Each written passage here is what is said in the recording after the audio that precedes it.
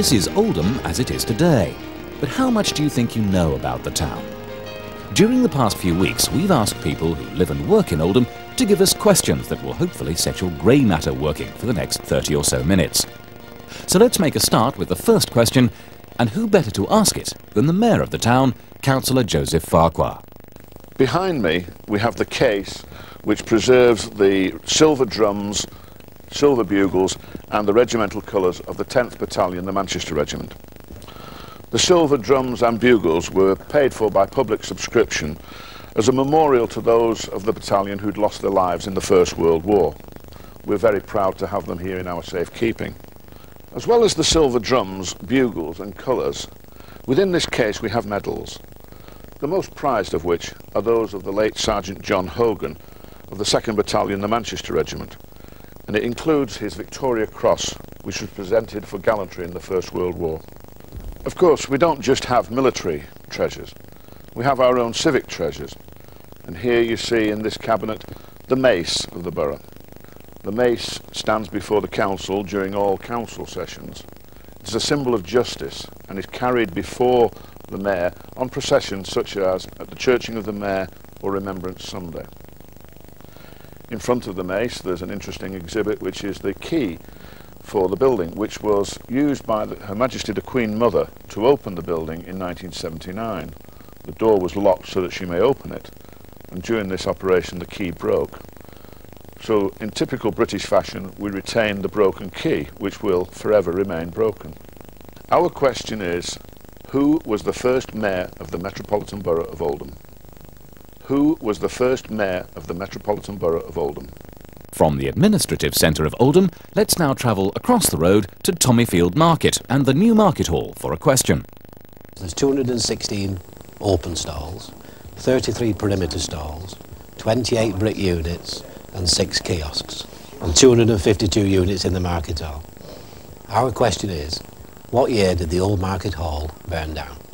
What year did the old market hall burn down? Maintaining the shopping theme, we now travel to the Spindles and join the management team and ask how successful is the shopping centre. The Spindle Shopping Centre opened on the 2nd of September 1993. Now, two years on, the centre is 95% let with more than 50 shops. The Spindle stained glass roof was designed by local born artist Brian Clarke. It is one of the largest in Europe. Our question is, the Central Square atrium depicts the life and times of another of Oldham's famous sons. Who is that person?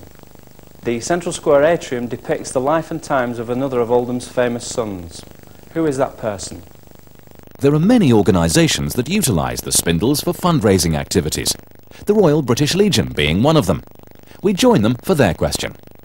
Our question is, which is the longest street in Oldham? Which is the longest street in Oldham?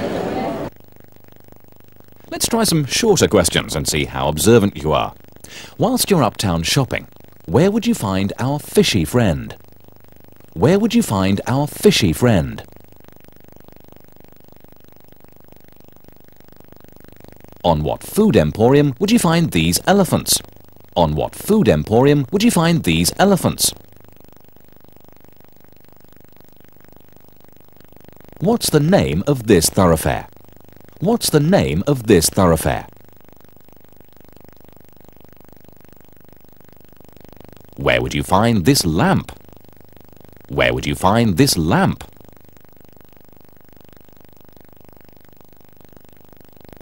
Where would you be visiting if you passed under this sign?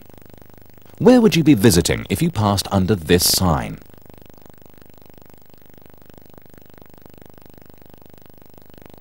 In times gone by, what famous store used to stand where the new shops are on the left of the street?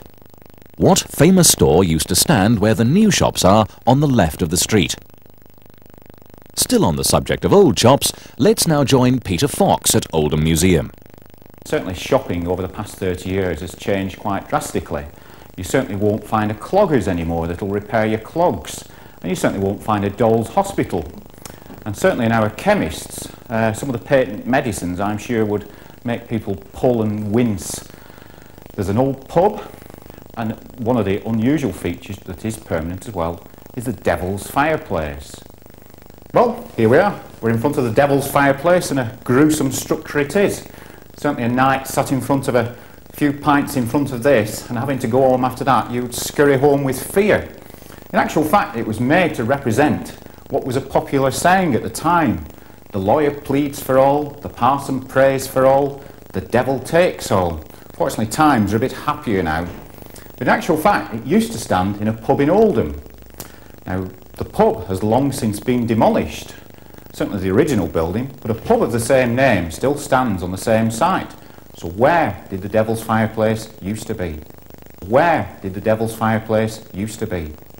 In 1849, the Oldham Borough Police Force was established and consisted of a superintendent, Mr. John Jackson, one sergeant, and ten constables. Today, Q Division, as it's now known, covers an area of some 54 square miles, of which two-thirds make up open moorland, the rest being densely populated residential and industrial areas. This makes for a wide range of demands on the force, who have to balance the need for the bobby on the beat with the instant response that people require when in difficulties. To help achieve this, the police have many specialist sections. For example, most people see police motorcycles patrolling the streets. But did you know they have off-road patrols that last year made over 600 arrests?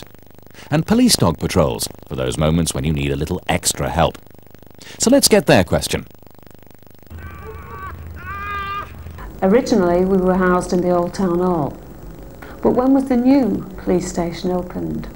Was it in 1966, 1968, or 1970? That's our question. When was the new police station opened? Was it in 1966, 1968, or 1970? Along with the police in Oldham, the other emergency services are also well represented. So let's see what you know about the fire service. Where was the Old Town Centre fire station situated? Where was the Old Town Centre fire station situated? Now to the ambulance service and the hospital for their questions. Greater Manchester Ambulance Service Trust is split into two sections, Accident and Emergency Service and the Patient Transport Service. In the Oldham area, we move on average of 70,000 patients on the Accident and Emergency Service in any one year.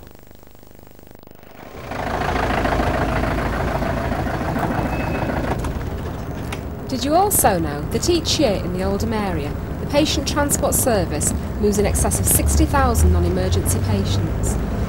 Unfortunately, they didn't have time to ask the question, so we'll ask it for them. When did Greater Manchester Ambulance Service become a trust? When did Greater Manchester Ambulance Service become a trust?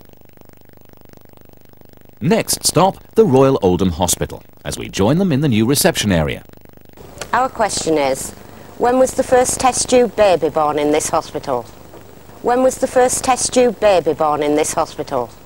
Some emergency services, however, are not as well known as the others, but are just as important. The Oldham Mountain Rescue Team has, for the past 30 years, provided a voluntary search and rescue service in Oldham. Working with the other emergency services, it conducts intensive searches in wild moorland or open countryside, and can even evacuate injured casualties from difficult locations.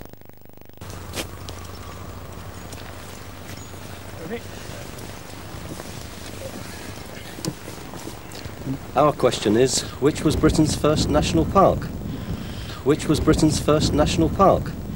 There are many worthy voluntary bodies in and around Oldham who give training and a sense of purpose to young people. The ATC in Royton is one such organisation, whose members are given the chance to try many different activities, such as motorcycle riding, abseiling and even flying. Our question is, what year did the ATC let girls join? What year were girls allowed into the ATC? Let's now join Oldham Sea Cadets on a typical night's activities. The cadets are taught basic skills that would be required should they wish to join the Navy. They're taught drill and how to use radio communications equipment, and even how to repair and service marine engines. So what's the question? Our question is, where in this town would you find Oldham Sea Cadets? Where in this town would you find Oldham Sea Cadets? The next question comes from the Territorial Army Engineers, who are based at Rifle Street. The soldiers don't just learn skills that would enable them to survive in times of conflict, but also skills that can easily be transferred into everyday life. For example, heavy goods vehicle driving, electrical and engineering skills.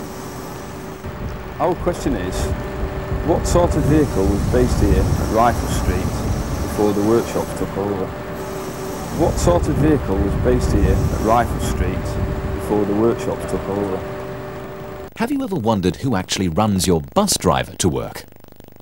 We joined GM Buses North, based at Mumps, at 6 o'clock one morning to find the drivers taking buses onto the road ready for rush hour. Our question is, what year did the last tram run in Oldham? What year did the last tram run in Oldham? Keeping in the Mumps area, we next visited Mumps Station for their question. Our question is, there used to be four stations in Oldham. We're here at Oldham Mumps. As further down the line is Oldham Werneth. What's the name of the other two? There used to be four stations in Oldham. We're here at Oldham Mumps. As further down the line is Oldham Werneth. What's the name of the other two? Let's now widen the area for the questions and look to the other areas that make up Oldham. First, let's travel to Shaw. We all know where the War Memorial is in Shaw, but can you tell us where the South African War Memorial is situated?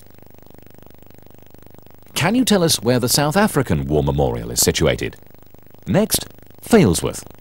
More or less everybody knows Failsworth Pole as a landmark. But our question is, what was it originally used for? What was it originally used for?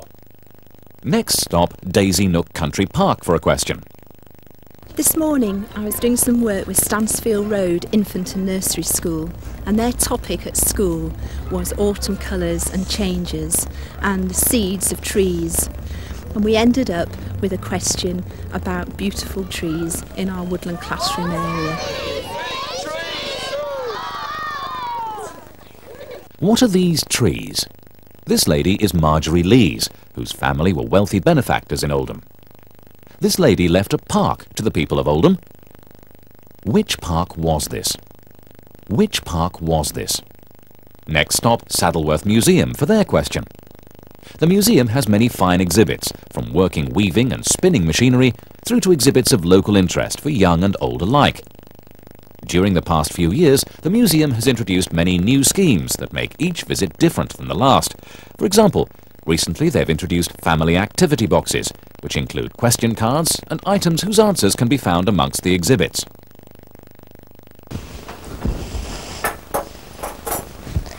Our question is, are you sharp enough to get this?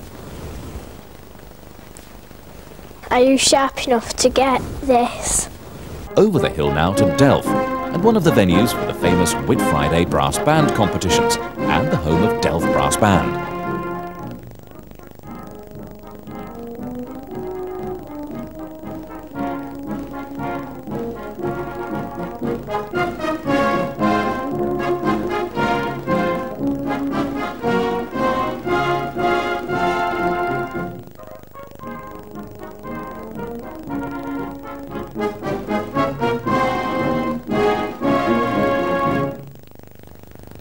Question is, what's the maximum number of players that play at a brass band competition? What's the maximum number of players that play at a brass band competition? In the distant past, this house used to be a pub and had a customer who later became Prime Minister. Who was that man? Who was that man? How many people realise that Oldham has a ski club that meets on a regular basis? It's a great slope. It's dead easy. It's fantastic for learning. Um, it's dead easy. Progression is very quick. And if you've done a bit of skiing in the past, then it's great just to keep up with your technique.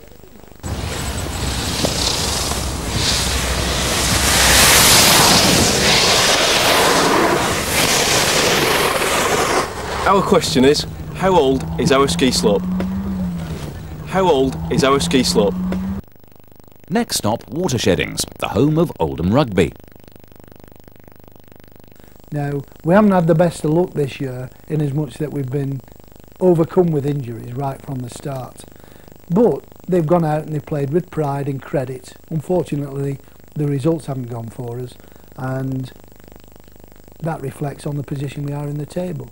Our question is, who is the youngest player in our Hall of Fame? Who is the youngest player in our Hall of Fame? Over now to Boundary Park, home of the Latics.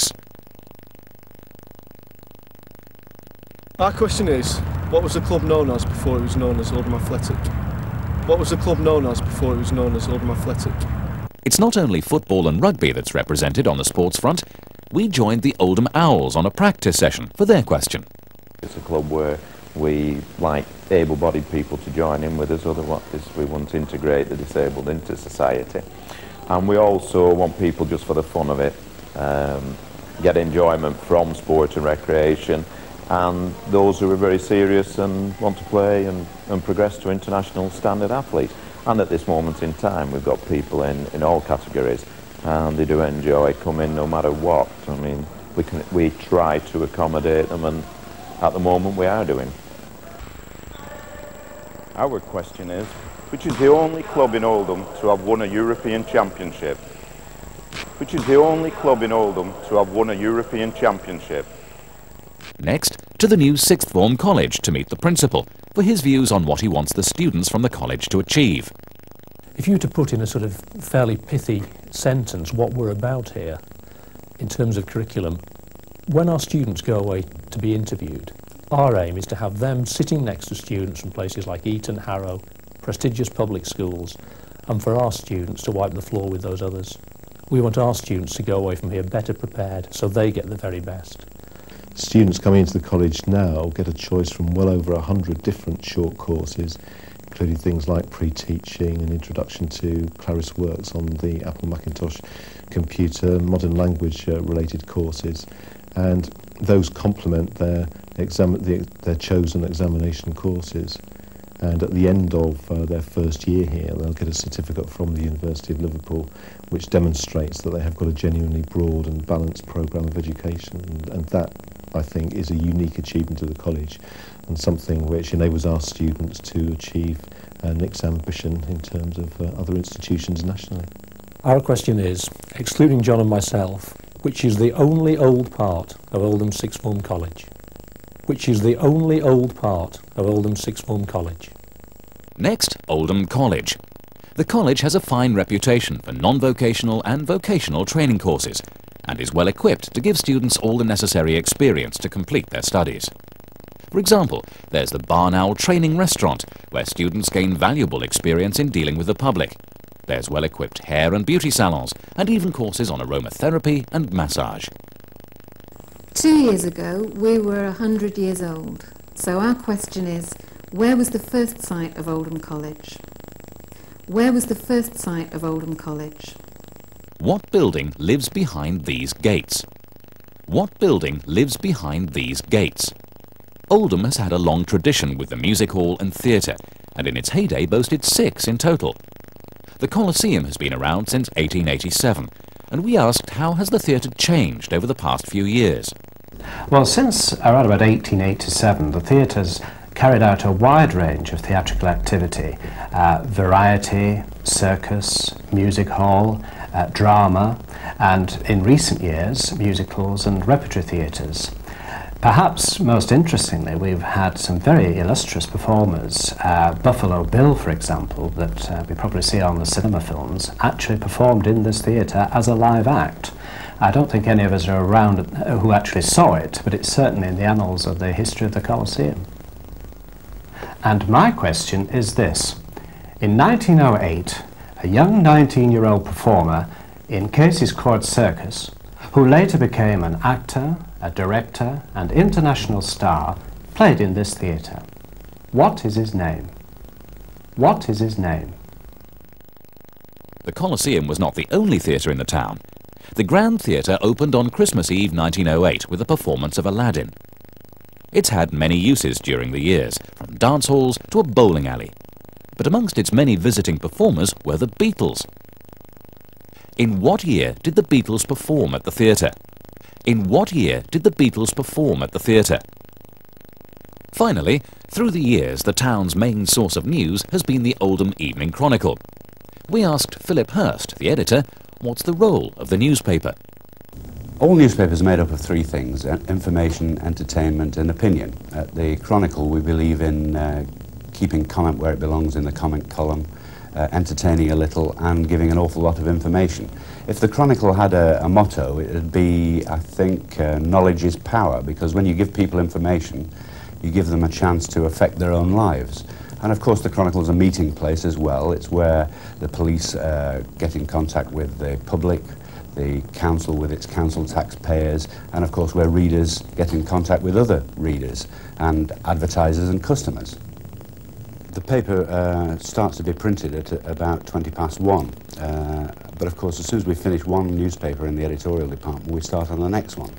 So uh, from about half past one on the, the day the paper is printed, we're starting doing the, the Oldham Chronicle for the next day. And it's a never-ending uh, treadmill like that, finding the news, putting it in, and away goes the paper. Well, here I've got a copy of the first edition of the Oldham Chronicle, and my question is, in what year was the Chronicle first published? Was it in 1838, 1854, or 1880? In what year was the Chronicle first published? Was it in 1838, 1854 or 1880? So how did you do? Pause the tape now if you wish to change papers, and the answers will follow shortly. The answers. Question 1. The first mayor of the Metropolitan Borough of Oldham was Ellen Brierley. The Market Hall burned down on Friday the 5th of October 1974. The stained glass depicts the life and times of Sir William Walton. The longest street in Oldham is Frederick Street. Our fishy friend is found outside the Spindle Shopping Centre by the main entrance. The elephants can be found on the Burger King building. The answer is Church Lane.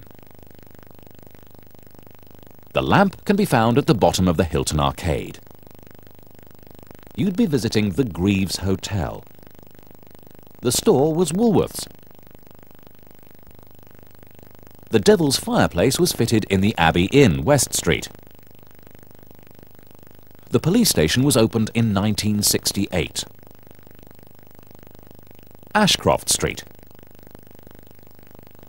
The Greater Manchester Ambulance Service became a trust in 1994. The first test tube baby was born in 1977. The first national park was the Peak District National Park. Girls were first allowed in the ATC in 1980. The Sea Cadets can be found at the Derker Annex, Derker Street. The vehicles that were based at Rifle Street were tanks, the last tram ran in 1946. The two other stations in Oldham were Clegg Street and Oldham Central. The South African War Memorial can be found in the park behind the new library. Failsworth Pole was originally used as a maypole. The trees in Daisy Nook were beech trees. The park that Marjory Lees gave to the people of Oldham was Werneth Park. This device was a knife cleaner, but you can have a point if you put knife sharpener.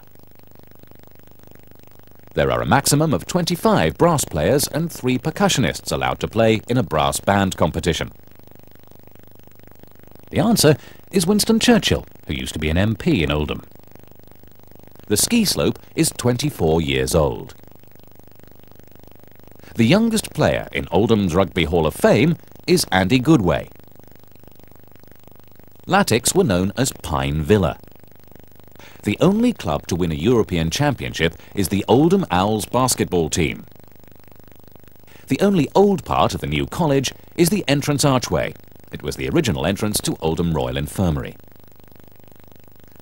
The original site of the college was the Lyceum Buildings, Union Street. It's the Magistrates' Court that lives behind these gates. The answer was Charlie Chaplin. The Beatles played at the Astoria, as it was called then, on the 12th of February 1963. Saturday, May the 6th, 1854. Well, in the immortal words of Bugs Bunny, that's all for now, folks. But more importantly, we hope you enjoyed the programme. And you never know, we might just see you again in a question of Oldham too.